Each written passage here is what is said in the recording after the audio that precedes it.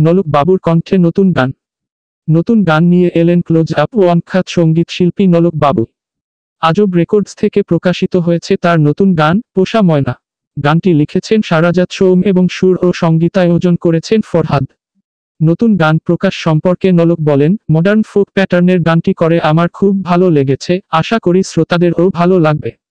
সংগীত বিষয়ক reality show close up ওয়ানের মাধ্যমে তারকা বনে যাওয়া দরিদ্র পরিবার থেকে উঠে আসা সংগীত প্রতিভা নলক বাবুকে এখনও ভোলেনি শ্রোতারা।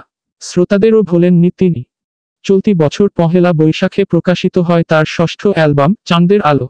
নতুন পুরনো গান নিয়ে দেশে ও দেশের বাইরে স্টেজ শো মাতিয়েই দিন কাটছে তার।